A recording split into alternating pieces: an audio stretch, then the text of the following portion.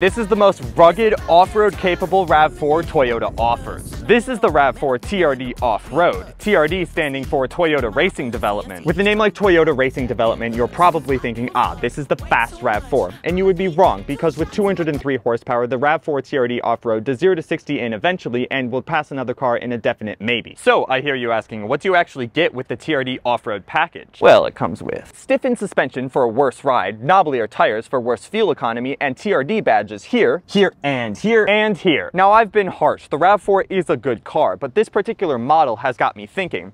If you want a RAV4, there are better ones, hybrids. And if you want an off-road worthy Toyota SUV, there are better ones, a 4Runner. So that just puts this Toyota RAV4 TRD off-road in a little bit of an odd spot. So that's why